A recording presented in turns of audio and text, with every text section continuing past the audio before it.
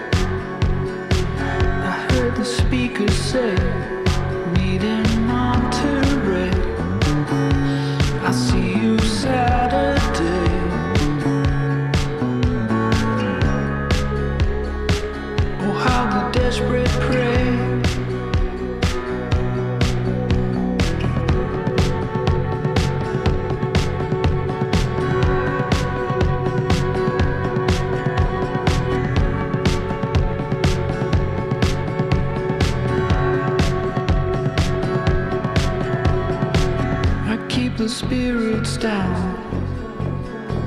It paints the visions brown. Meet See